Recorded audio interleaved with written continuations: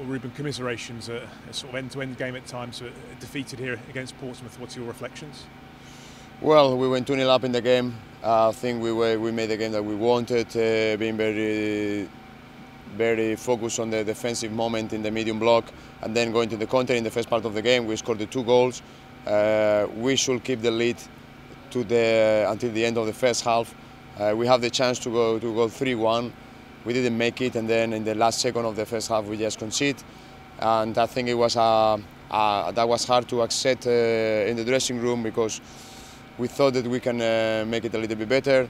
The third goal was just a game changer for us. We just decided to go with the two strikers. We have the situations to equalize, and we didn't. So performance was there. I think we still can uh, be better in uh, a lot of terms, but uh, I think we did uh, everything to get at least one point. Mm, it was a game against the against the league leaders. They're going very well this season.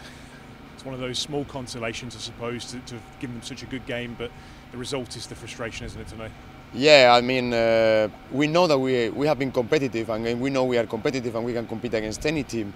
Uh, it doesn't matter if it's in the in the top of the league or in the bottom of the team. We just need to be consistent. We just we cannot waste more time. We need to get it and get it now.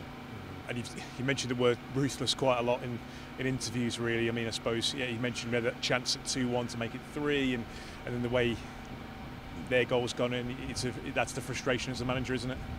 Absolutely. I think uh, I think we were doing the work that we want to do. I think we have the chances.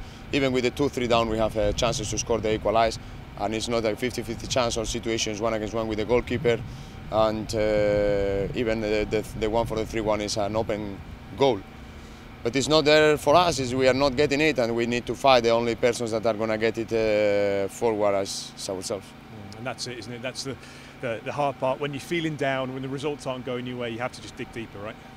Absolutely. We just need to stick together and then uh, just continue growing, pushing each other forward, continue being competitive, continue putting performance together, and then even more ruthless with the moments in our box to defend it, in the opposition box to score it.